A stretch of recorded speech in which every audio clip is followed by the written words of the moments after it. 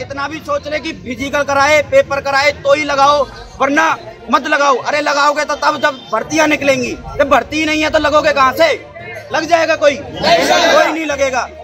दोस्तों, पिछले दिनों जल्द सेना भर्ती कराने की मांग को लेकर देश के कई भागों में युवाओं ने धरना प्रदर्शन किया है। और इसी के चलते कल फिर पलवल के युवाओं ने बड़ी संख्या में सड़कों पर उतरकर सरकार के खिलाफ विरोध जताया है। दरअसल प्रदर्शन कर रहे युवा शहर भर में जुलूस निकालते हुए पलवल के लघु सचिवालय पहुँचे थे, जहाँ उन्होंने एसडीएम व जिला पुलिस अधीक्षक को देश के प्रधानमंत्री व रक्षा मंत्री के नाम एक ज्ञापन सौंपा था, जिसके बाद एसडीएम व जिला पुलिस अधीक्षक ने इन युवाओं को आश्वासन दिया है कि उनकी मांग को वे सरकार तक पहुँचाने का काम करेंगे। दोस्तों, आपको बता दें कि इस प्रदर्शन में भारी संख्या में युवा मौजूद थे। जिसको देखते हुए वहाँ काफ़ी पुलिस बल भी तैनात किया गया था।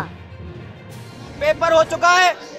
जो फ़िज़िकल इन बच्चों का हो चुका है, उनका पेपर रह रहा है। उनका पेपर बाकी है उनका पेपर होना चाहिए। जिन बच्चों की ओवर एज हो चुकी है उनके लिए उनकी भर्ती उनके लिए भर्ती आनी चाहिए और जिनकी ओवर एज हो गई है उनको कम से कम दो साल का टाइम मिलना चाहिए। कम से भी कम ज़्यादा नहीं मांग रहे।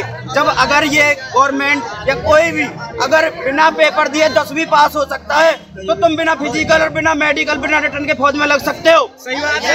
लग सकते हो ना? और कोई नहीं सोच रहा। क्यों? अगर इतना भी सोच रहे कि फ़िज़िकल कराए पेपर कराए तो ही लगाओ। वरना मत लगाओ। अरे लगाओगे तो तब जब भर्तियाँ निकलेंगी। जब भर्ती नहीं है तो लगोगे कहाँ से?